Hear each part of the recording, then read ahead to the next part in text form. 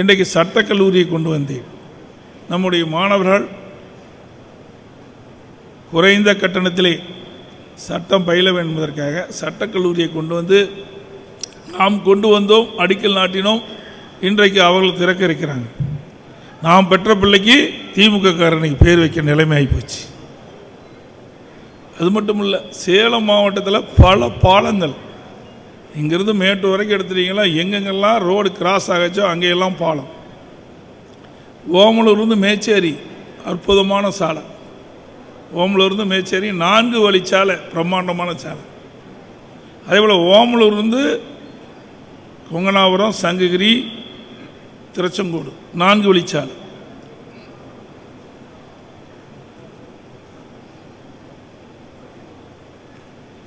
அந்த சாலை பணியும் ஆரம்பிக்கப்பட்டு விட்டது சேலம் டு திருப்பத்தூர் அது நான்கு வழிச்சாலை. அந்த பணியும் ஆரம்பிக்கப்பட்டு விட்டது ஆக நம்முடைய பகுதியிலிருந்து சேலத்திலிருந்து பெரிய நகரங்களுக்கோ இல்லது பல்வேறு ஊர்களுக்கு செல்கின்ற சாலைகள் எல்லாம் தரமான சாலையாக விரிவுபடுத்தப்பட்டு போக்குவரத்து நெரிசல் இல்லாமல் விபத்து இல்லாத ஒரு சாலையாக அமைத்து கொடுத்தோம் இன்றைக்கு கூட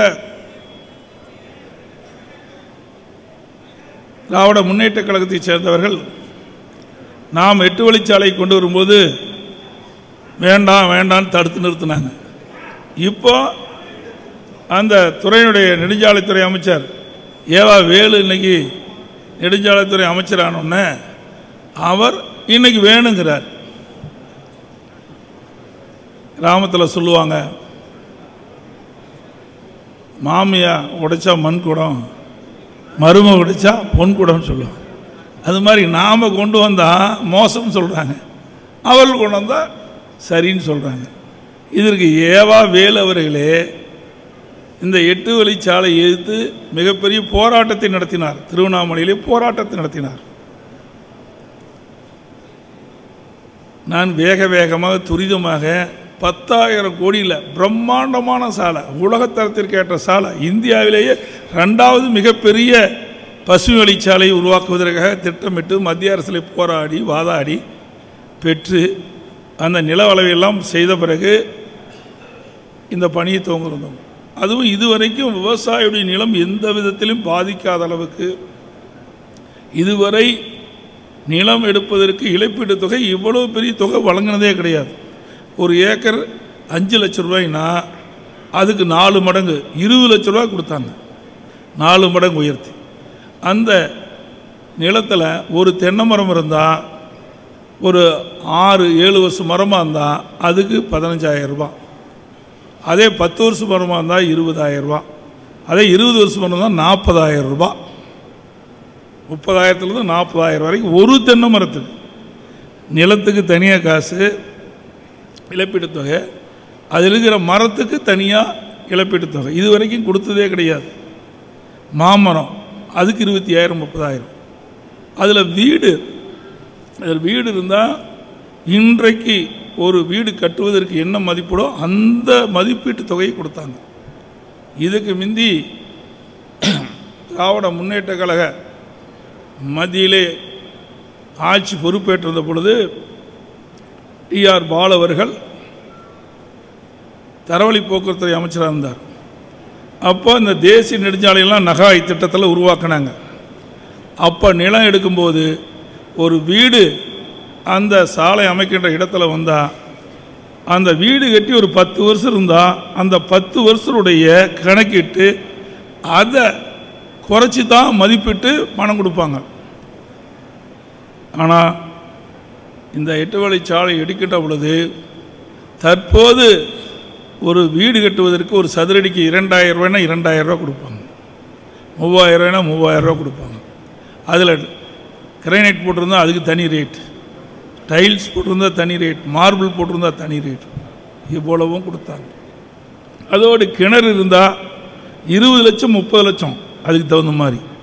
அதில் சைடில் ரீட்டைனிங் வால் அதில் கிணத்துல கட்டியிருந்தீங்களா? அதுக்கு தனி ரேட் அது மட்டும் இல்லாமல் நீங்கள் எங்கேயாவது நிலம் அடிபட்டு வேறு இடத்துல பூமி வாங்கி விவசாயம் பண்ணும்போது இங்கே இருக்கிற சர்வீஸை இலவசமாக விவசாயிக்கு அங்கேயே தராங்க.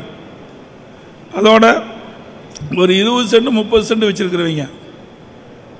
அந்த வழியை சாலை அமைக்கின்ற பொழுது அவங்க நிலம் போனால் அவர்களுக்கு பத்து சென்ட் நிலம் கொடுத்து வீடு கட்டி தராங்க